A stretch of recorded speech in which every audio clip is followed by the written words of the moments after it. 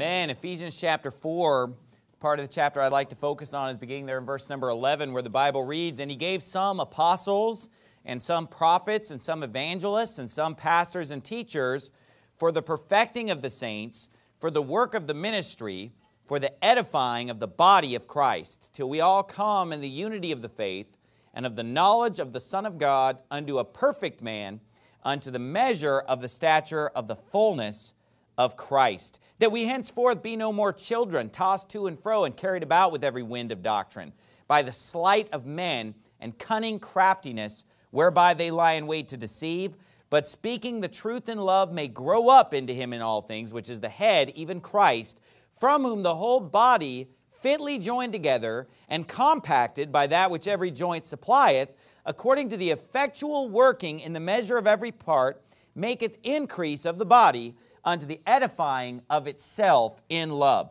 Title of my sermon this morning is The Bible College Scam. Amen.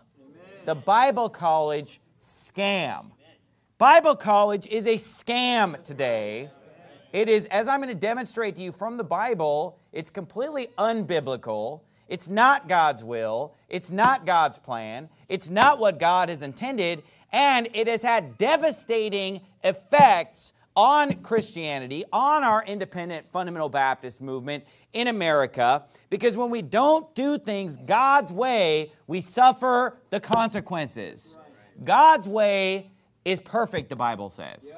And so we need to get back to doing things by biblical methods and not get sucked into this scam of Bible college. You say, what's wrong with Bible college? Well, let me get into some of the negative repercussions of what Bible college has done over the last several decades that this model has been pushed in Baptist churches. First of all, it has drained manpower, money, and resources out of God's institution, the local church, and siphoned them into an unbiblical institution known as the Bible College. Not only that, but as a result of Bible College, local churches are now devoid of young singles.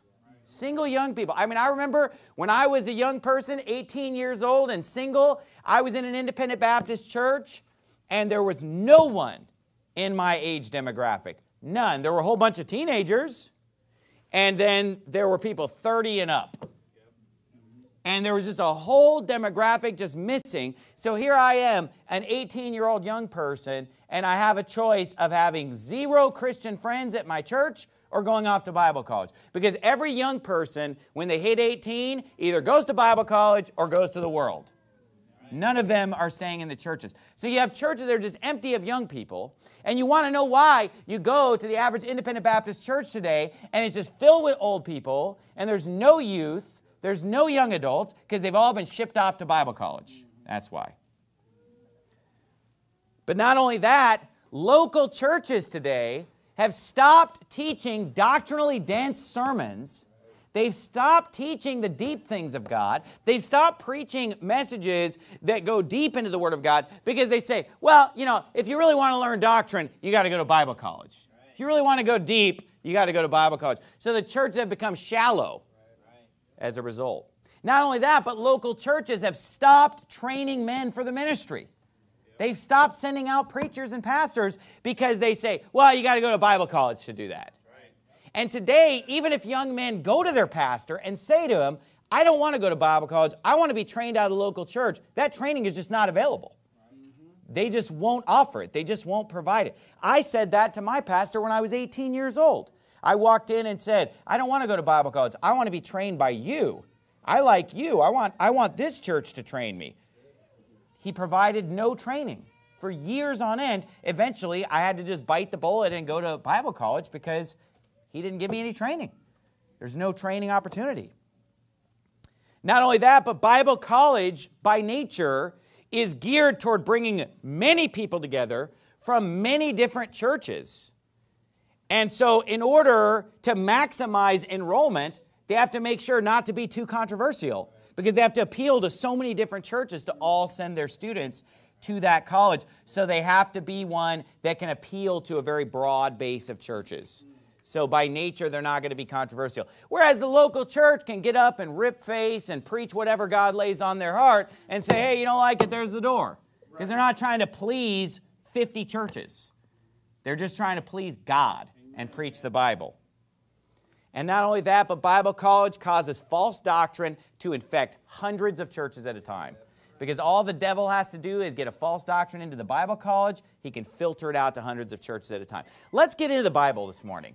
Let's see what the Bible says. Well, first of all, I turn to Ephesians chapter 4 because Ephesians 4 is talking about the local church or the body of Christ. In fact, more than half of the New Testament is specifically addressed to the local church whether it be the churches of Galatia, the church at Ephesus, the churches of Colossae, all these different epistles that are written to the Thessalonians, they're written to the churches in those places. And so the church is the emphasis. In fact, if you read the New Testament, you'll find the word church 117 times. So God is telling us 117 times, it's the church, it's the church, it's the church. How many times does he bring up the Bible college? None. How many times did he bring up the Christian school or the Bible school? None. Zero. Zilch. Nada. But 117 times he tells us it's the church. But in this particular passage, he explains to us in Ephesians 4 that the church has everything that we need to not only win people to Christ, to not only baptize them, but to perfect them. Yeah. To perfect them. The word that keeps coming up here in Ephesians chapter 4 is the word perfecting or perfection. Look at verse 12. For the perfecting of the saints. Do you see that? And then he says in verse number 13, till we all come in the unity of the faith and of the knowledge of the Son of God, unto a what? A perfect man, unto the measure of the stature of the fullness of Christ, that we henceforth be no more children. What is this saying? What the Bible is saying here is that the church can complete us spiritually. What does the word perfect mean? Perfect does not mean sinless. Obviously, no one is without sin. The Bible says there's not a just man upon the earth that doeth good and sinneth not. So when the Bible says perfect, it's not saying that you have no sin. The word perfect means complete. It's sort of like when you go to English class and you learn about the different verb tenses and you learn about the imperfect and the perfect, right? The perfect is an action which is complete. The imperfect is an action that's ongoing, right? But you probably don't even remember that part from English. But th those of you that are homeschooling, right, you got that fresh in your mind from teaching your kids about the imperfect and the preterite. I just heard my wife teaching it a couple weeks ago. So the point is that perfection, when it says that Job is a perfect man, it's not saying he never makes a mistake. But what it's saying is that he's mature, he's well rounded, he has all the parts, he's complete. And the Bible says we're complete in Christ. And the Bible says here that the pastors, the teachers, the prophets of the local church they are here to perfect the saints and to edify the body of Christ till we all come in the unity of the faith and of the knowledge of the Son of God unto a perfect man under the measure of the stature of the fullness of Christ. We don't need to go somewhere else. We don't need to travel to a distant city. We don't need to go enroll in a Bible college to be perfected spiritually. We are supposed to be getting that right here in our local church. Amen. We're supposed to be edified right here. We're supposed to be trained and perfected right here. For what? For the work of the ministry. This is where you get trained for the work of the ministry in the local church and at other thousands of local churches all across America and all across the world. That's God's plan. The Bible says in verse 16, from whom the whole body, and remember the context, the body of Christ is referring to the church, from whom the whole body fitly joined together and compacted by that which every joint supplieth, according to the effectual working in the measure of every part, maketh increase of the body, watch this next phrase, unto the edifying of itself in love. So, right there, the church edifies the church, the church edifies itself. We're all fitly joined and compacted together, and we can be perfected, right? Not, not saying we're going to be the modern day definition of perfect, meaning sinless, but we're going to be perfected, meaning we're going to be mature, we're going to be fully grown, fully well rounded Christians. We have everything we need right here in the local church. So, why do we need this other institution, the Bible college, which is never mentioned in Scripture? That's my question. Now, just to make sure we have the right definition of church, the church is the congregation.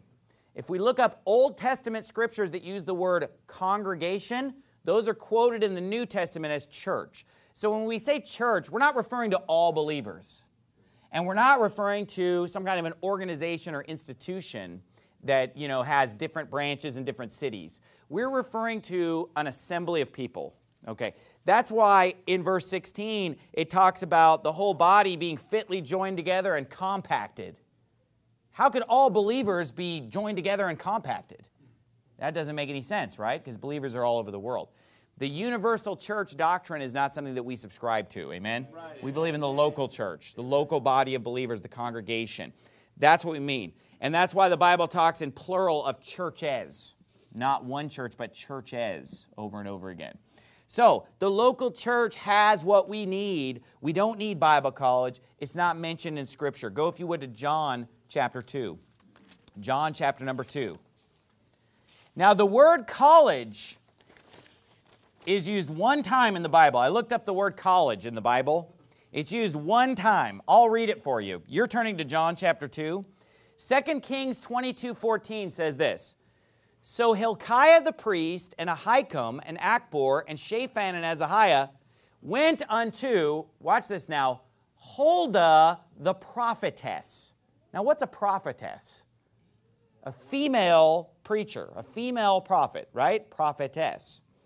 It says that they went unto Huldah the prophetess, the wife of Shallum, the son of Tikvah, the son of Harhas, keeper of the wardrobe. Now she dwelt in Jerusalem in the college, and they communed with her. So the word college is only used one time in the whole Bible. 2 Kings 22 14, and a female preacher dwelt in the college.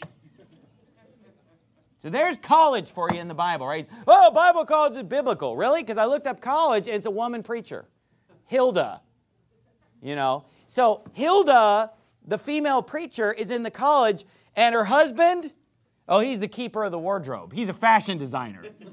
Okay, so here's your Bible college in the Bible, right? The College of Jerusalem. You got Hilda, the female preacher, and her husband, the fashion designer, and that's it. You say, well, but what about, you know, the Bible talks about the school, though, right? School.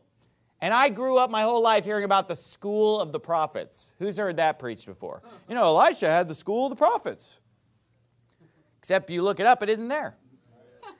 The word school is only mentioned one time. Acts 19:9 says, "But when divers were hardened and believed not, but spake evil of that way before the multitude, he departed from them and separated the disciples, disputing daily in the school of one Tyrannus." So, the only place school is mentioned in the Bible is when the apostles are going into this unbeliever school and basically disputing and, and preaching and, and they're arguing with them about the Word of God. That's the mention of school, okay, is this Tyrannus' school. Not, not John, Peter, James. They didn't have a school. Paul didn't have a school. No, no. They went to a heathen school and preached. Sort of like we go in and preach in all these heathen schools in Guyana, Botswana, or even I, I preach three times a year in four different classes. So actually, I speak in 12 different classes per year at the community college right down the street here, right? But, but you know what? That's not a godly institution, South Mountain Community College. I go in there and I go and preach there the Word of God to the heathen to try to get people saved. That's a big difference. So there's no mention of school positively. There's no mention of college except a woman preacher. And yet we have 117 mentions of the local church. So why would we think that God wants us to put all of our energy and effort and money and resources into a college and make that the emphasis? Why would we believe that it's God's will that 99% of preachers get sent out from a college instead of getting sent out of their local church, which is the reality of the situation today in America? It isn't right, it's backwards, it's unbiblical. But you say, well, Pastor Anderson, Bible college is an arm of the local church. It's under the canopy of the local church. It's under the umbrella of the local church. It's a ministry of the local church, is what they say. Okay, then here's my question Do you have to pay to go to church? Does it cost money to go to church? Absolutely not. But does it do you have to pay to go to college? Yeah, you do. And you know what? It's wicked. Because God's house is not to be made a house of merchandise, and merchandise is anything that is bought, sold, or paid for. And the Bible says that God's house is not to be made a house of merchandise. And if you want to know where any wrong thing in this world comes from, you can always follow the money because the love of money is the root of all evil. So, where all this stuff goes back to is the money. And I'm going to get to that later in the sermon. Look down at your Bible in John chapter 2, verse 13. And the Jews' Passover was at hand, and Jesus went up to Jerusalem and found in the temple those that sold oxen and sheep and doves and the changes of money sitting and when he had made a scourge of small cords, he drove them all out of the temple, and the sheep, and the oxen, and poured out the changers' money, and overthrew the tables, and said unto them that sold doves, Take these things hence, make not my father's house an house of merchandise. And his disciples remembered that it was written, The zeal of thine house hath eaten me up. You say, Well, Pastor Anderson, don't get mad. Hey, we ought to get mad. This is the maddest that Jesus ever got in the whole Bible. Yeah. Read the whole New Testament and show me the part where Jesus was the angriest. It's right here. Show me another place in the Bible where Jesus flipped over a table. Show me another place in the Bible where Jesus grabbed somebody's money and started dumping it all over the ground. I mean, imagine going into a place where things are being sold and just taking the money and dumping it in the ground. Imagine walking into one of these churches or one of these Bible colleges and just grabbing their cash register and dumping it in the lobby. Imagine it. It would still be milder than what Jesus did because you wouldn't even have a whip in your hand. Right. Jesus went in, he flipped the table, he dumped out their stupid cash register of their little coffee shop and their little bookstore yeah. and their little souvenir shop. He dumped out their money, he flipped over the tables, and then he got a whip and started chasing them out with the whip. You see, it's not Pastor Anderson that's too radical. It's not Pastor Anderson that's too mean. It's not Pastor Anderson that's preaching his own opinion and not the Bible. No, I'm preaching the Bible this morning, and I'm not even as mad as Jesus was. I don't even want to hit anybody with a whip because I'm not that mad yet. But Jesus was. You say, well, Jesus blew his top. Jesus didn't blow his top because he, he's, he's sinless. That's right. Jesus slow to anger right? The Lord's attribute is being slow to anger. What did he do? He made a cord. He made the whip. I mean, how long does it take to make a whip? I would assume it would take a few hours to, to braid the leather and work on it. He sat outside that temple making a whip for hours. This was totally premeditated. this was not an impulse. And the zeal of God's house, here's the exact wording of the Bible, ate him up. I mean, the zeal of, I mean, it just ate him up. He's just like, I mean, he's just cutting that leather and braiding it and just, and then he went in there, ah, you know, and started flipping over the tables, dumping out the money, swinging over. I mean, can you imagine? I mean, look, people talk about wanting to see the Red Sea parted. I'd rather see that. You know, if there's a video archive in heaven, that's what I want to see.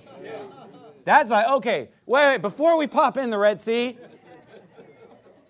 I want to see that part with you where Jesus cleans out the temple. And by the way, he did this twice. Yep. If you study your Bible, he did this at the beginning of his ministry and at the end of it. Two times he went in there and tore that place up. And they were mad when he did it. They didn't like it. But look what the Bible says. Because people have all kinds of answers, don't they, how they explain this away instead of believing what the Bible said. You know what the Bible's teaching here? Don't sell things in the house of God. Period. Full stop. End of story. It's that simple. You can twist this all you want, but what he's saying is you don't sell anything in God's house, period. Nothing, zilch. Now, what I grew up hearing was, well, you know, you can sell things as long as they're spiritual things you know, you could sell a preaching tape or a preaching CD or what. Okay, well, let me ask you this. Were they selling a spiritual thing here in verse 16? Yeah. He said unto them that sold doves. Why would they sell doves? Was this a pet store? No, they're selling doves because doves were used in the animal sacrifices. Yeah. So people were commanded by God, if you study the book of Deuteronomy, that if the way was too far for them, instead of bringing their animals to sacrifice, they were to sell their animals turned them into money, and then when they got to Jerusalem, you know what they're supposed to do when they get to Jerusalem? Buy the animals. He told them to do it. He told them to buy doves. He told them to buy sheep. You know, if you actually study the Old Testament, you'd know that buying sheep and doves to sacrifice to the Lord was biblical. That's why Jesus didn't tell them, stop selling doves. He said, take these things hence. What does hence mean? From here. So it's not that what they were doing was wrong, it's that they're in the wrong place. Yep. There's nothing wrong with selling things at the store. But when you're selling things at church, that's a big problem. Yep. You say, well, what's the difference if they go to the coffee shop across the street or if they go to the coffee shop in the lobby of the church? I'll tell you what the difference is. One's right and one's wrong. That's what the difference is. You know, what's the difference? One of them's wicked and the other is acceptable. That's the difference. You got it? Same difference of whether they bought the sheep and doves across the street at a, at a flea market versus buying it in God's house. And this is what the Bible says. No one can give a reasonable explanation of this passage other than the fact that they're being told to sell the stuff somewhere else because they're not to make God's house a house of merchandise. What's a house of merchandise? A store. God's house is not a store. You don't go to God's house to buy things. Now, why did they have the money changers? Because people are coming from all over the world. At the day of Pentecost, there were devout men from every nation under heaven. So they have to bring, obviously it was different money back then, but they have to bring their pesos and their yen and their Deutsche Marks and change them into their shekels so that they can actually buy the stuff that's there. So look, this is all for a spiritual reason of buying things that they need to serve the Lord. The problem is you don't do it in church. That's why our church will never sell you a cup of coffee. We will never sell you a book, a DVD, a CD for any reason at any time. It will never happen as long as I'm the pastor here. And you say, well, what about all that stuff on the back shelf? It's all free. It's free. All that stuff is free. Go take as many as you want, all the DVDs, CDs, flash drives. It's, there's not even a little donation box or something. You know, well, I mean, it's free, but you better give a donation. No, no, it's just, it's free. All that stuff's free. Look, people come here with, with literal grocery bags and fill them up from that shelf back there. And I just ask them if they want paper or plastic. I don't give them a bad time. I don't tell them, hey, you're taking too much. Hey, load up. People have literally flown on a plane landed here on a Wednesday night, come to church, filled up two suitcases with DVDs from back there, and flew home the next morning. And I asked him, So, what's, what's the visit? He said, I just need to load up on material. I'm like, Great, let me help you. Load them up. This house will never be a house of merchandise. House of prayer, yes. House of God, yes. House of preaching, yes. House of praise, yes. House of merchandise, never. It will never happen. It's unbiblical. It's a, you say, well, that's just a small issue. Really? Doesn't seem like it in this passage. Seems like Jesus is pretty mad. And you can find this account also in the other Gospels as well. This is John chapter 2. You can find other accounts of this from other points in Jesus' ministry where he did it the second time. The zeal of God's house has eaten me up. Well, you know what it eats me up too? When I see people selling things in God's house. It's wicked, it's a sin, it's wrong.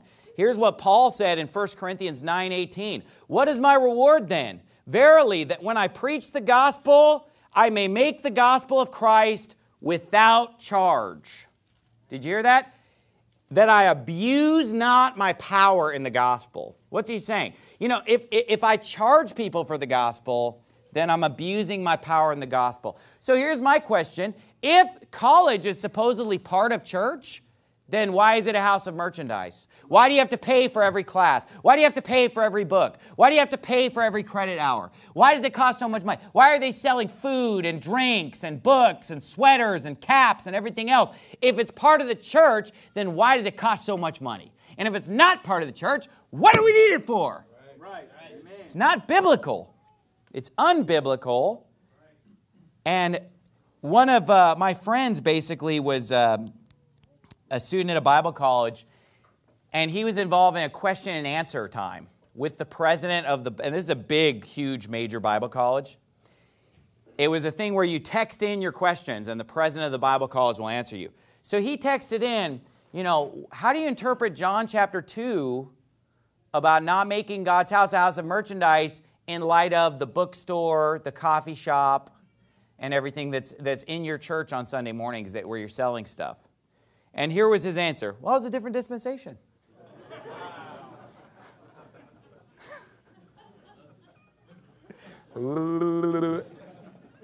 That's literally what he said. How do you get around Christ with a whip and flipping over tables saying, Don't make my house house merchandise? Oh, that's a different dispensation. That's pretty interesting that this was such a short lived commandment. Because Jesus comes in and gets mad about it, and then a couple years later, we're in a totally different dispensation. So I guess he just didn't want him to sell it for those last couple years. But the New Testament church is supposed to just be a full blown house of merchandise. No, actually, the love of money is the root of all evil, which while some coveted after, they've erred from the faith and pierced themselves through with many sorrows. Hey, if Jesus made a big deal about it, I'm going to make a big deal about it. Not selling things at church. So, 117 mentions of the church, zero mentions of Bible college, zero mentions of the Bible Institute, zero mentions of Bible school. And if you try to claim it's church, then you're charging people money to go to church. Right. And you're making it a house of merchandise. They're pretty much doing both anyway. Turn, if you would, to Romans chapter 15. And the reason that I call my sermon this, and I realize that there are some people that are probably offended by this sermon. Well, you know what? Why don't you just hit the road, Jack, and don't you come back no more then? Amen. Go down to your little coffee serving, book selling, Bible college peddling, money driven church down the street. This church, I'd rather have a church in a, in a strip mall with ceiling tiles on the ceiling instead of some palace with stained glass because you know what? Christ wouldn't flip a single table in here. But Christ would have some money to dump out in some other places. Romans chapter 15. And I'm going to call out some specific Bible colleges this morning. And if you don't like it, why don't you just get up and walk out right now then so that you don't get your feelings hurt? Amen. But these people need to be called out. They, they're turning independent Baptist Christianity into Kenneth Copeland style televangelism, where it's all about the money now. I'm sick of it. Here's an uh, example of this. I just got this this week in the mail. You got five seconds to get out of here before I start ripping on the Bible colleges by name. I got this in the mail this week from Heartland Baptist Bible College. Now, let me tell you something.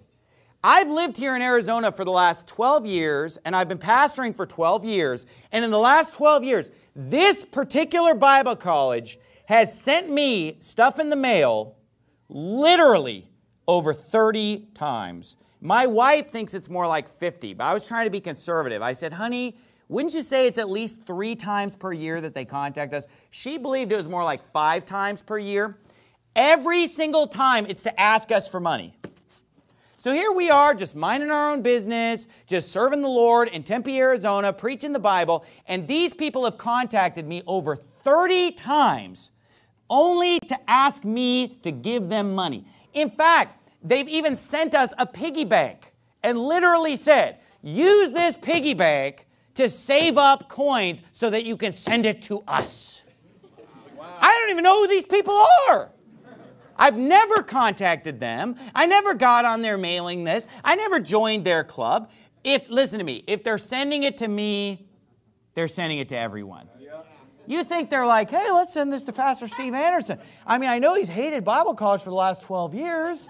I mean, I know that he's against Bible college. I know that we wouldn't touch him with a 10 foot pole, but let's get him our. They, they, if people send me stuff, you know what it means? They're sending it to every independent Baptist in America. Yeah.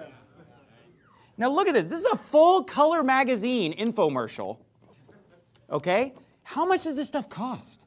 They've sent me posters, piggy banks, magazines, just tons of packets. I promise you that they've sent me at least $100 worth of mailers, at least. Because, I mean, how much does it cost to do a mass mailing of giant color magazines? And then they sent me a preaching CD with it, too.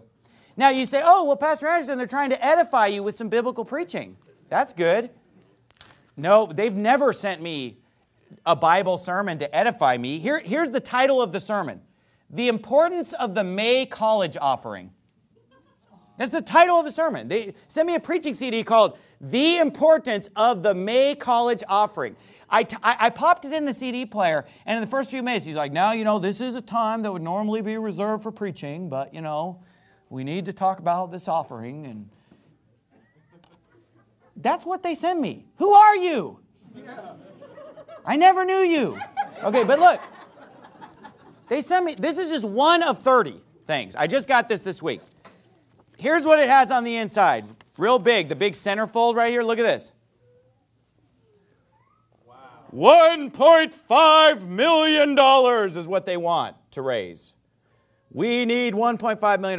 Now, this is how deceptive these people are. They send me this CD all about the importance of the May College offering. On the front, it's all about a preaching conference. On the back, it's all about a preaching conference. No mention of money, but every page is only about money wow. on the inside. Like, for example, on the front page is Dear Friend. He doesn't know me.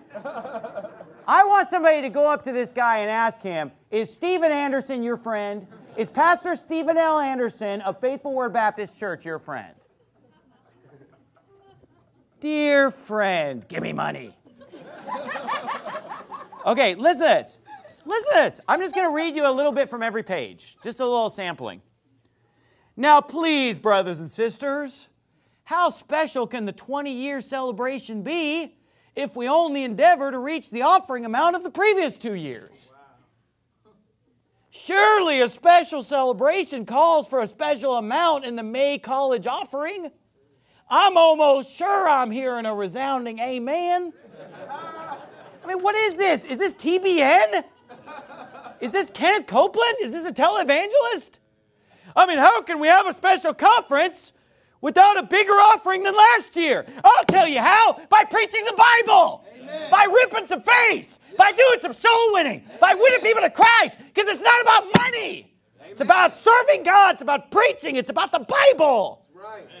But to them, it's like they, they, can't help but speak what's on their heart. Yeah. Mm-hmm. How can we have a special meeting if the offerings aren't exceeding last year's offerings?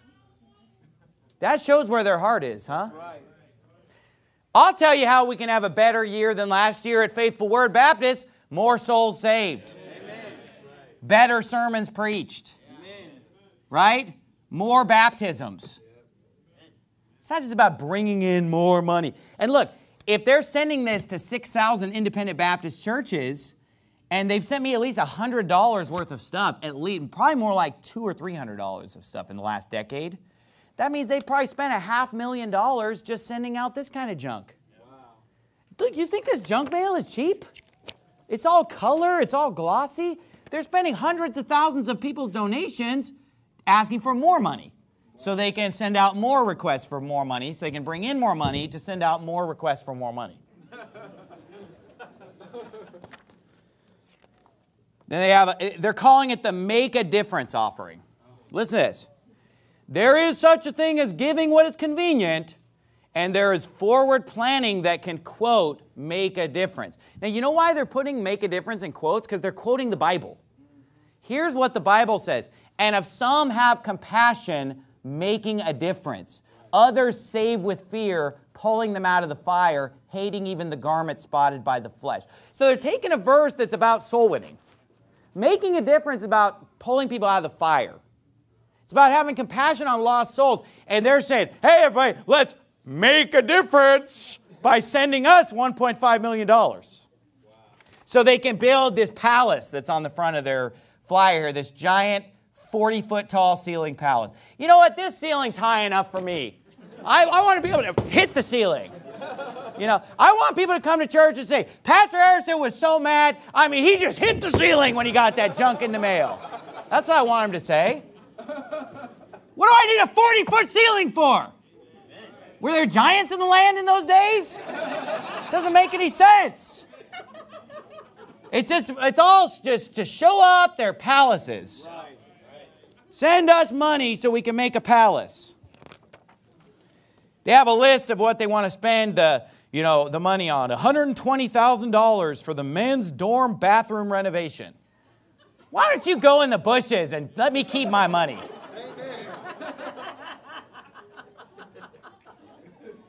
The whole world's a men's room for crying out loud. $120,000 for the men's room renovation. $220,000 for the maintenance and exercise facility. Exercise facility? This is what we're we're going to drain all the money from the local churches, right? And send all our money so they can have an exercise facility. And you know that it's a bunch of machines and stuff that doesn't work. They're probably not even hitting the real heavy weights. Right. You think those bunch of lavender shirt wearing, pink shirt wearing Bible college students are deadlifting and bench pressing and doing squats? No, they need some expensive machine, some expensive cardio machine or something. Why don't you go outside and go run and then you'll find your bathroom while you're on the run? Get out there and do a real workout. Professional sound treatment for the cafeteria. What is that? You say, well, that's none of your business if they want to professionally sound treat their cafeteria. They want me to pay for it. Professional sound treatment for the cafeteria. What is that? Is that white noise? Is I don't know what that is. Okay, here's a pie graph. Okay, this is why they need to raise the 1.5 million. Because they want to make it really cheap for the students to go there. Okay, so the May College offering subsidizes 20% of the tuition. And then churches sending money every month subsidizes 12%. So basically, 32% of the tuition is subsidized by local churches giving them money. Okay. So what does that mean? You know, let me break that down to you.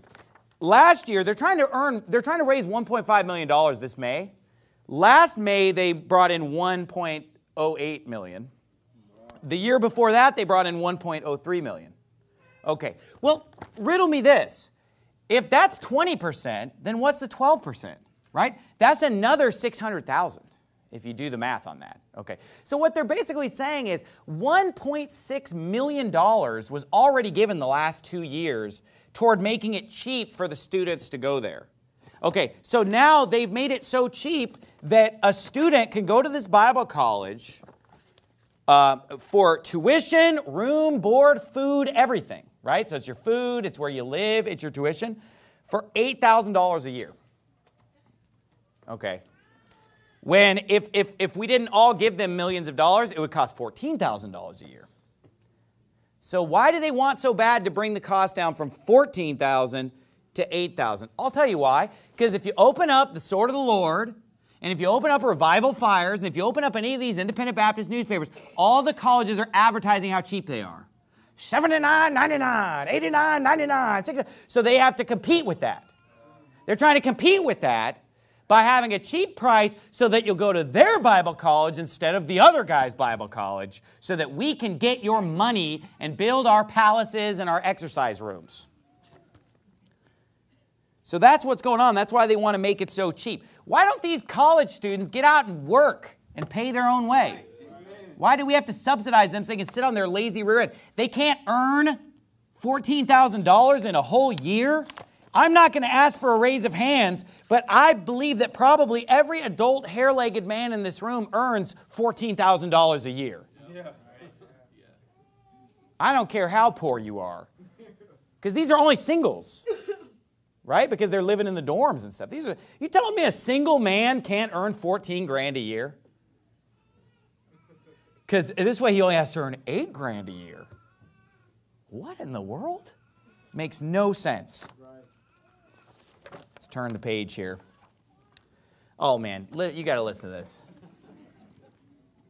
Okay, here's a testimonial from a pastor, Josh Merrill. The seminary I now attend costs nearly $2,000 a class. Did you hear that? Don't tell me it's not about the money with these Bible colleges. Yeah. Listen to this. The seminary I now attend costs nearly $2,000 a class. Progress is painfully slow because I cannot afford a full load without incurring debt. The May offering allows Heartland students to avoid such an educational quagmire by subsidizing over half their tuition. We give, therefore, we get trained men and women into the field quickly and debt free. So this is like an infomercial where they're like, the leading brand could cost you up to $2,000 a class, but we will give you the whole year. How much would you expect to pay for such an education? Would it be 12000 not 10000 not, oh, it's $7,840. You heard it right, folks. And if you call right now, you'll also get the ShamWow squeegee thrown into the bargain so you can squeegee the exercise facility when you're done. Look, this is garbage. First of all, $2,000 a class. Who believes that this guy's actually paying $2,000 a class at any school? No. Unless he's at Harvard. Right. Is this guy at Stanford? Okay, well, guess what? I looked up what school he goes to. I Googled this guy's name and I looked up what school he goes to. He goes to a Southern Baptist seminary. So this is their graduate, right?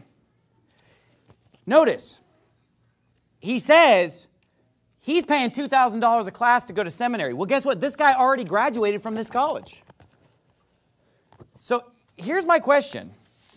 If he already graduated from this college, why does he need to go to seminary for $2,000 a class? Didn't they teach him everything? Is anybody listening? Didn't they teach him everything in four years? I mean, he went to this school for four years and he got such a great education at this school for four years that now he has to pay $2,000 a class just to, just to fix it. Think about that. Here, I went to his church's website. It says that he already has a degree in equine science. This, this guy, this pastor, who's paying 2000 bucks a class. He's got a degree in equine science, that's horse science. Horse pucky. But anyway, he, he got a degree in horse science. Then he got a degree in animal science from Oklahoma State University. Then he went to Heartland Baptist Bible College and got a bachelor's degree in pastoral theology. How much college does this guy need? You got the horse degree, you got the animal degree, you got the pastoral theology. I mean, look, what, do you, what else do you need to take care of sheep, buddy? Yeah. You got, you got two degrees. You got two degrees on being a physical shepherd. You got one degree on being a spiritual shepherd. You're ready. But no, no. He's got to spend $2,000 a class to get his Master of Divinity degree. That's what he's getting. it says he's getting a, he's pursuing a Master of Divinity degree from Southwestern Baptist Theological Seminary in Fort Worth, which is a Southern Baptist seminary. So the graduates of this independent fundamental Baptist college, they're, they're such awesome men of God they're such awesome preachers. I mean, we got to we got to fund this thing so that their graduates can go hang around with Southern Baptists all day and go dump $2,000 a class into a Southern Baptist school. It's madness and folly. Right. What else we got here? Oh, how about this one? Here's another pastor, Aaron Denson. Nothing more significant. I can think of a lot more significant things, buddy. But he says there's none more significant than seeing our missions dollars going to an institution that believes what we believe, wow. practices ministry how we practice ministry, and does it influencing so many future servants of God. It's quite the return on an investment, not only immediately, but for eternity. So, he's t- so basically, people come to church now and they put their money in missions. What, I mean, look, preachers get up and they put up an overhead projector showing black kids in Africa eating Malt-O-Meal with a song saying, Here am I, I will go, I will reach the lost untold, I will give the Lord control. I will give a lot more money to missions, right? I mean, who's, you know what I'm talking about? People, they, they show you them going to Africa reaching people that actually like need the gospel, yeah. right? People that are just, you know, foreign countries and, and they're showing Africa, they're showing Asia, all these exotic places, and it's people need the Lord. People need the Lord. They're showing like a crying eight year old girl. When will we realize? And then, so people then, they're like, yes, please get that little girl the gospel. Get that little Vietnamese girl the gospel for crying out loud, right?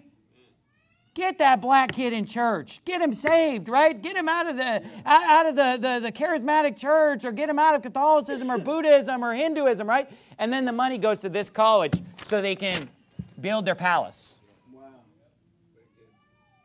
Did you hear that? He's saying we take our missions money, our missions fund, and we send it to Heartland Baptist Bible College. Not to Africa, not to Asia, not to the Caribbean, not to South America, but to Heartland Baptist Bible in send it to Oklahoma. That's the heart of the mission field. Oklahoma. Look, just because it's called the heartland, you know, that's not the heart of, of, of Africa, folks. Right. Listen to this. We need, and our school deserves a good offering. I mean, they send me this in the mail saying, hey, we deserve your money. And you're like, I've never come back to this church because Pastor Anderson ripped on another. Ba-. Hey, it, this is wicked. They send me junk mail telling me, we deserve your money. Where? Listen to the CD. We're going to tell you how you owe us money. Here's what I think of your stupid CD. Amen. It's garbage. Yeah. You're making God's house a house of merchandise. Right. You sound like Kenneth Copeland. Yeah. You sound like a TV evangelist. Yeah. We need and our school deserves a good offering. You can direct your money toward any number of good causes, but if you want a 30, 60, or even a hundredfold return on your investment, send it to Heartland. This is garbage. It's, it's, it's ShamWow Baptist College. Infomercial. Now look what the Bible says. Look at Romans chapter 15. The Bible says in Romans 15, verse 25, But now I go into Jerusalem to minister unto the saints for it hath pleased them of Macedonia and Achaia to make a certain contribution for the poor saints which are at Jerusalem. It hath pleased them verily, and their debtors they are. For if the Gentiles have been made partakers of their spiritual things, their duty is also to minister unto them in carnal things. When therefore I have performed this and have sealed to them this fruit, I will come by you into Spain. In this scripture, the Apostle Paul is talking about how the, the saints of Macedonia and Achaia voluntarily decided hey, we want to give money to help out the church at Jerusalem. They voluntarily just said, you know what? We want to help out because there are poor saints that are suffering in Jerusalem. We want to relieve the afflicted. So we of Greece are going to send money to the church at Jerusalem of their own free will, not by constraint, but willingly. They're going to give money to them because they said, you know, we've been a partaker of their spiritual things, so we want to repay them with our carnal things. They're saying, look, we benefited from the preachers that they sent out. We benefited from, so we want to give back, right? Answer me this. What in the world did these people ever do for us, for our church? Why do they have the right to hit us up for money 30 times when they don't even know us? They don't care about us. They don't love us. And then they call us on the front page, dear friend. It's all a lie. Right. This is just like a bum by the side of the road just asking me for money. I don't know who you are. It's garbage.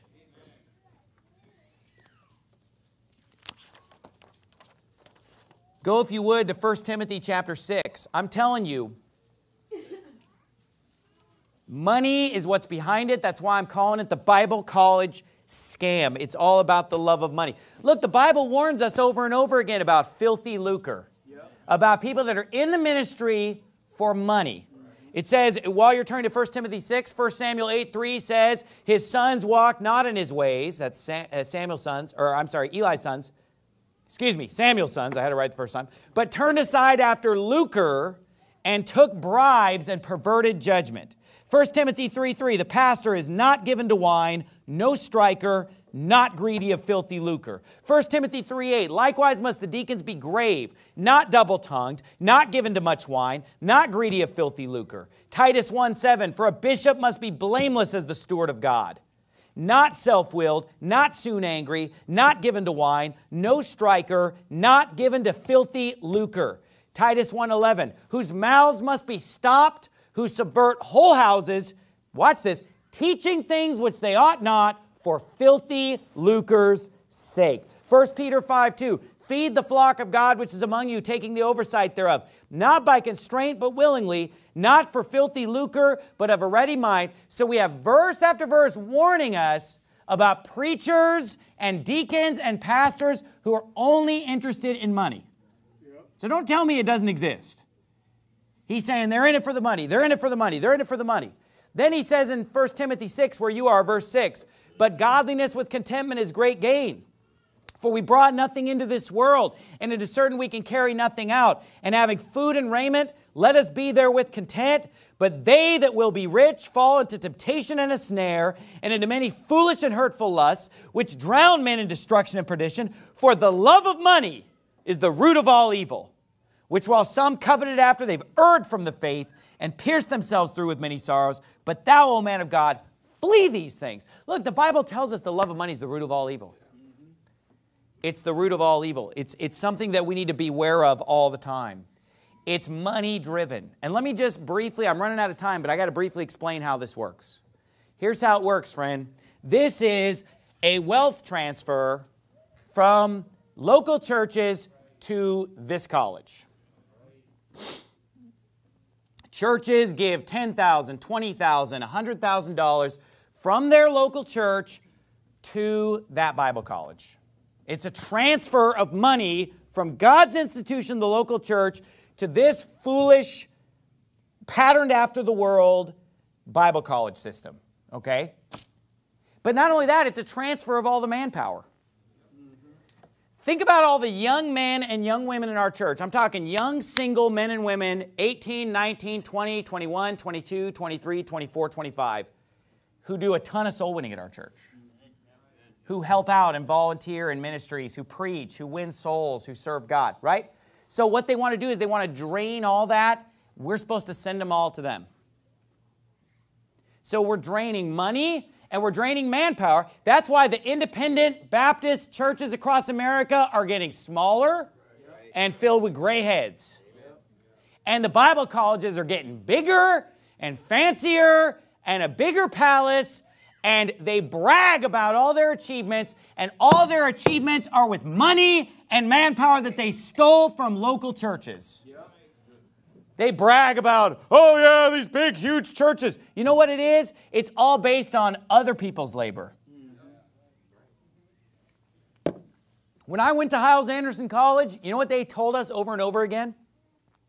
Now remember, First Baptist Church of Hammond was the largest Sunday school in the world the year before we opened Hyles Anderson College. So don't get the idea that the college is what's driving everything. Now, you know, you know why they had to keep saying that to us?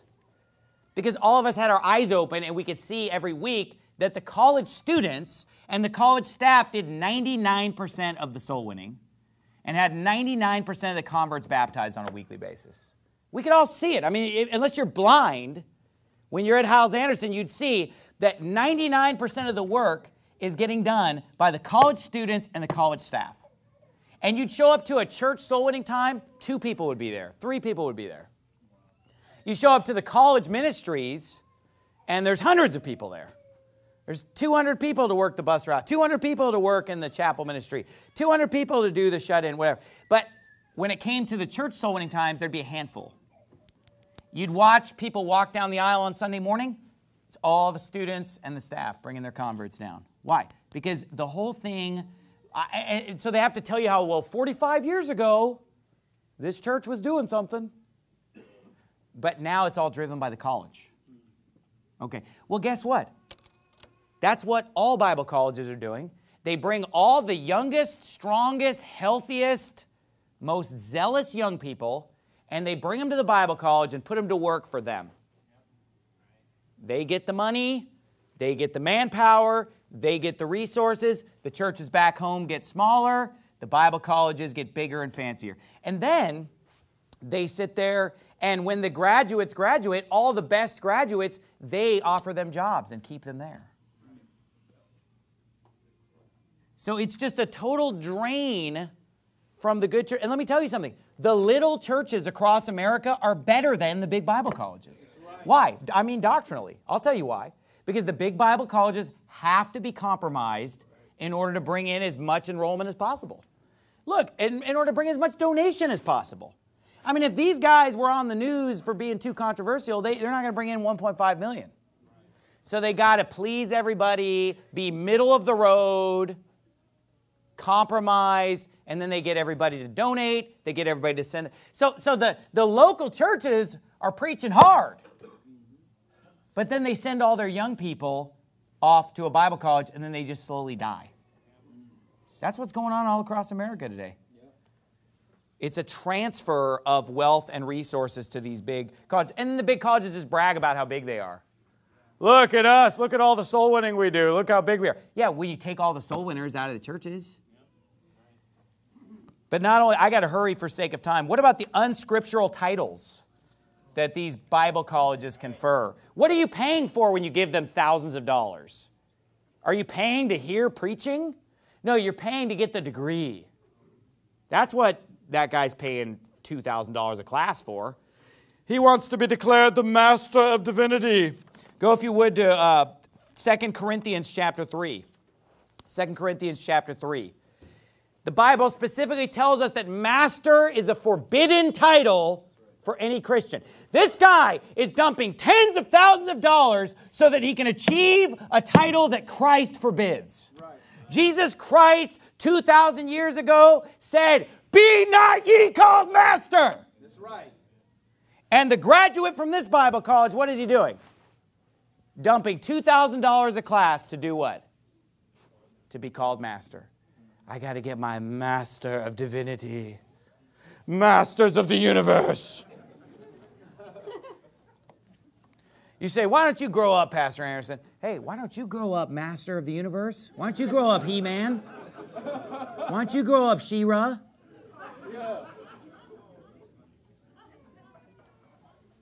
At least I'm not calling myself superhero names like Doctor of Divinity and Master of the Universe. Unscriptural titles like Master, which is specifically forbidden in Matthew 23 verses 8 through 10. Look at 2 Corinthians chapter 3 verse 1. Do we begin again to commend ourselves? Or need we as some others epistles of commendation to you or letters of commendation from you?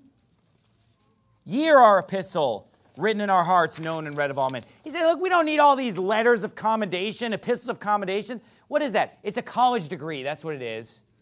Something telling you how great you are. You know what? If you have to go around telling people how great you are, maybe you're not that great. right. If you have to show everybody your degree, maybe you're not that smart. Yeah. And not only do they call themselves master of this and master of that, but they take another unbiblical term, doctor. Now, I'm not against doctors being called doctors. A physician being called a doctor is no problem. But if you don't have a stethoscope around your neck, you have no business calling yourself a doctor. Period. The, the word doctor is used three times and is always referring to the Pharisees. Luke 5 17, there were the Pharisees and the doctors of the law were sitting by. Acts 5:34. Then stood there up one in the council, a Pharisee named Gamaliel, a doctor of the law. You know who called himself a doctor? A Pharisee. But yet all these Bible college presidents call themselves doctor. The professors call themselves doctor. Doctor of this, doctor of theology, doctor of divinity. Is there a doctor in the house? It's garbage. It's a Pharisee title. Christ, you're going to tell me the Holy Spirit led you to seek to be called master or seek to be called doctor. That's not in the Bible. It's pride, it's arrogancy, which the Lord doth hate. Yeah. And everyone that's proud is an abomination to the Lord. Yeah. So why give yourself time? Why don't you just be called bishop or pastor or deacon? Amen. Or elder? Why don't you use the Bible? Not master, not doctor, bachelor? I got married to not be that. Amen. Why would I go seek to be a bachelor? bachelor of science. Lastly, this turn, if you would, to Genesis chapter 2. And you say, well, what about, what about the importance of a degree? Okay, here's all the Bible I can give you right now on degree. You want some Bible on the word degree? Well, you got to get your degree. Surely men of low degree are vanity. Yeah. The low degree, that's the first one you get in horse science. And men of high degree are a lie. That's the master of divinity. Yeah. From Baptist Theological Seminary of the Deep Freeze. Some Southern Baptist cemetery. You couldn't pay me to take a degree from them. Right. You know what? If, if, if, if Baptist Southwestern Theological, whatever cemetery of the Southern Baptist sent me an honorary doc, doctorate, you know what? I'd donate it to Heartland Baptist Bible College to help renovate their men's room with it. And you decide what it would be used for in that men's room. You couldn't pay me to take one of these epistles of commendation from the Southern Baptist Convention. Amen. From a bunch of liberal, watered down, garbage theologians not interested. Men of low degree are vanity, and men of high degree are a lie. To be laid in the balances, they're altogether lighter than vanity. The Bible says he put down the mighty from their seats and exalted them of low degree. The Bible said that they that have used the office of a deacon well purchased to themselves a good degree and great boldness in the faith which is in Christ Jesus. See, the good the only good degree in the Bible, it's not one from a Bible college. It's one that you earn by working as a deacon. Yeah. You, you, you do the work and you have a good degree. But let the brother of low degree rejoice in that he's exalted. You say, You're just jealous because you don't have a college degree. Look, I don't want a college degree. You couldn't give me one. And you know what? We have a guy in our church who got a bachelor's and a master's degree from Bible college. The first week he joined our church, he walked up to me and he showed me his bachelor and his master's degree from Bible college. And he tore them up and threw them in the trash in front of me and said, I'm sick of this. I'm ready to get some real training now. He said, I'm here at Faithful Word Baptist Church to get the real training. This is trash. And he threw it away. Amen. I'm not going to tell you what college it was from, but it started with a P and ended in Pens- Pensacola. started with a P and ended in cola. And he, he tore it up and threw it in the trash and said, I don't need this. I'm here to, I'm here to learn the training. Why? Because the proof's in the pudding, that's why. We don't need epistles of commendation. Paul didn't need it. But last but not least is this it is not God's plan for young people. So, what, just a quick review of the points made. Number one is we need the church, not the college. That's what the Bible said. I defy you to show me Bible college in the Bible because it isn't there. He said, the church, not the college. Number two, you're making God's house a house of merchandise. He's so angry. You know the story what he did when he flipped the tables. What else? Number three, it's all about the money. All about just transferring money and manpower from the little churches to these big mega center churches so that they can get bigger and everybody else suffers. And then lastly, the unscriptural titles. But let me finish on this. It's not God's plan for the young people. See, today, the Bible college movement says when your kid's 18, you ship them off to Bible college, right? That's not what the Bible says either. Look down at your Bible at Genesis 2:24. It says, "Therefore shall a man leave his father and his mother and shall cleave unto his wife, and they shall be one flesh." So you know what God's plan for you in a perfect world is that you go from father and mother to your wife. I don't see a stop in between where you, you leave father and mother and cleave under your bunk mate cleave unto your roommate. No, you cleave to your wife. You know what? When you're ready to move out is when you get married. 18 year old. Hey, listen, 19 year old. You know when you're ready to move out? When you're ready to get married. You don't need to be shipped off when you're 18 to some Bible college, 19 to some Bible college. That's not God's plan. That's not what He taught. Now, just to show you how much of a scam Bible college is and how it's just all about money. It flies in the face of the Bible. Here's another example, because, you know, we, we kind of gave this guy a hard time, but let, let's go after another one. Amen. Bob Gray. Amen. Bob Gray Sr. spent about 30 to 40 years of his life preaching how great Bible college is and running a Bible college, right? So he's got his Texas Baptist Bible College or whatever, and before that he's promoting Hyles Anderson, went to Hyles Anderson. So he spent decades telling people, you need to go to Bible college, you need to go to Bible college, you need to go to Bible, for decades, right? But then, as soon as it stopped putting money in his pocket, all of a sudden he turned on a dime. And he's like, oh, yeah, these Bible colleges, they're ruining churches. Now you got to get on my online Bible college and send me the money. Literally. I mean, it's funny how for decades, when Bob Gray was profiting from Bible college, right? All the students are coming in with the money coming in, right? When he's profiting from it, it's wonderful for decades. But then, as soon as his retirement plan gets cut from his church, and all of a sudden he's got to make some money, all of a sudden he just turns on a dime and says, Oh, yeah, Bible colleges have devastated our churches. And you know what he said? He said, Yeah, I mean, they took all the young people. They're taking all the young, and then other pastors are like, yeah, we've never recovered from losing all our young people and losing all that money and resource that we shipped off to the Bible college. That, that's funny because, you know, your whole life you promoted Bible college when the money was coming to you and when the people are coming to you. So now he's got an online Bible college. What a scam. What a, and by the way, these Bible college degrees, they're not even accredited. They don't even mean anything. They're just like, you just show them to people, like, you know what I mean? Like, I'm a bachelor of theology. But literally, you send you, you take a class at this online Bible college, it's 300 bucks, 200 bucks, 100 bucks to watch a video. Hey, save some money. My YouTube channel costs less than $2,000 a class. It's free. There are so many tens of thousands of hours of Bible preaching on YouTube. And you know what? You say, yeah, but we need something of a little more higher quality, like Harvard. You, did you, you can watch the classes from Harvard on YouTube?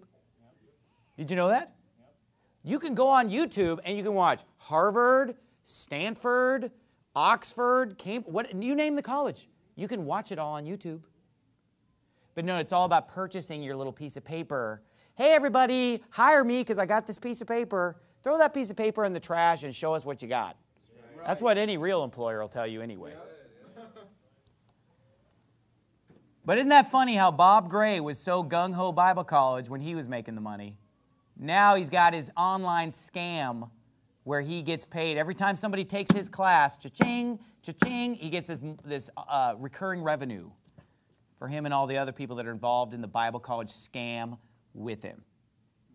What's a scam anyway? What is a scam? I'll tell you what a scam is. Because I was just I was just reading something about scams and so forth.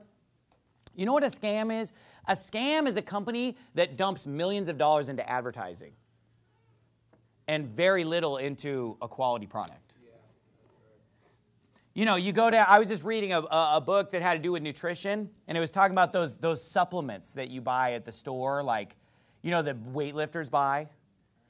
What do they have on the outside? Some roided out, just you know, on the front, just veins or, you know, it sort of looks sort of like this, you know. No, I'm just kidding. You know, they're just like, and they're just like veins are bulging out, just muscles everywhere. I mean, just their head looks like they, they had a visit to a voodoo witch doctor or something because their head's so small compared to their body. And they're just like, they look like they're about to die of a heart attack. Ah! You know, just all roided out. Look, because here's what they do to get that big, those roids cost money. They're spending like 50 grand a year on steroids, these bodybuilders. So, this is what the supplement company pays tons of money to that guy to roid him up for the cover. Everybody listening? 50 grand, 75 grand a year just to keep his roids pumping and to keep it all, to make him huge, right? what goes into the what goes into the, the, the canister? Bunch of maltodextrin, bunch of filler, sawdust, flour, whatever. And then it's all part of their proprietary blend where they put like one drop of the effective nutrient and it's 99% filler and junk. So then they're selling you powder that cost $50. It costs them three bucks to make, five bucks to make. Sell it to you for 50 bucks. Why? Because you know where they're putting all the money. They're not putting it into a quality product. They're putting it into what? Advertising. They're spending hundreds of thousands of dollars sending you all the ads to tell you, look, everybody, look at this. Uh, what, why? To perpetuate themselves. They're like a virus. They're like a parasite. They're like a bacteria, just a drain. And you want to know the funniest part about this? What if I, Pastor Steven L. Anderson, what if I sent a letter to every independent Baptist church in America said, send a donation to my church? How do you think people would react to that? What if I sent a piggy bank to 6,000 churches and said, put your money in this piggy bank and then send it to me? What would they do? They'd freak out, right? They'd be like, it's a cult. Isn't that what they would say? Okay, how about this? What if I did this? What if I traveled around the country saying, hey, your young people need to leave your church and come join my church in Tempe, Arizona? Now, I've had people accuse me of doing that. I've never done that. But isn't it ironic that these same people accuse Pastor Steven Anderson of being a sheep stealer and he's trying to get people to leave their church and come be a part of his church? You know what the true story is? Let me tell you the true story. When single men and single young ladies show up at this church and say, I moved here to come to the church, you know what I say to them? Go home and live with your parents. Am I, Chris, is that what I tell them? I tell them, go home and live with your parents. Now, sometimes they stay and sometimes they go home. And I tell them, it's up to you what you're going to do, but I believe you should be at home living with your parents. So I'm doing the exact opposite of what these Bible colleges are doing. They're going around saying, leave your parents and come be with us. Come to our church. I'm doing the opposite. I'm saying, go home and live with your parents. Leave father and mother and cleave unto your wife. So isn't it funny how they accuse me of doing exactly what they're really guilty of? Going around stealing everybody's church members and asking everybody to give all the money to them. I, you know what I tell people? Tithe in your local church. Tithe in your local church. People say, hey, should I send my tithe to you or tithe in my local church? I say, tithe in your local church. I don't say, send me $1.5 million. You know why? Because Faithful Word Baptist Church is about giving and giving and giving and serving and helping other people. We help other churches. We benefit other churches. We bless other churches. We send them church members. We get people saved and then tell them to find an independent Baptist church in their area. And we've sent thousands of people to churches all over America through our online ministry. We send them there, they tithe there, they're a blessing there because we're not a parasite. That's why. Amen. We give, give, give. We build something ourselves. We don't just say, all right, everybody, all right, churches, send us all your money, send us all your young people, send us all that new blood, and we'll die a slow and painful death as everybody in our church now averages age 87. That's what's going on today, and it's, it's a scam, and somebody needs to call it out for what it is. We need to get back to the local church because Christ said, Upon this rock I'll build my church. Yeah. He didn't say I'll build a TV show or a school. He said, I'll build my church. Right. And we need independent Baptist churches all over America, not these big parasite cancers draining all the nutrients from the rest of the nation. Let's bow our heads and have a word of prayer. Father, we thank you so much for our local church, Lord, and I pray that that any young people at our church, Lord, would not be deceived by the, the, the, fancy brochures and the catalogs that tell them to go to these Bible colleges, Lord. I pray that they would stay here and learn how to serve in their local church, get married, meet uh, singles here, Lord, and not feel like they have to go join some other place in another state, Lord. And I pray that all across America we get back to the local church model of doing things and get away from this Bible college model that's been a failure for decades now.